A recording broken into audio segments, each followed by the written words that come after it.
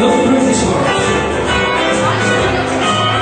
The rain is falling, the day is over, and don't send me back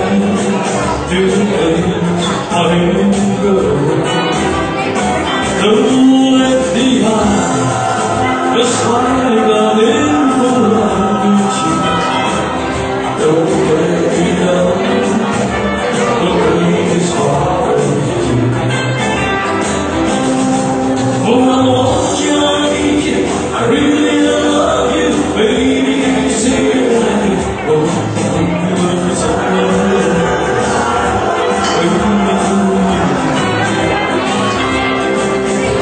오직 너야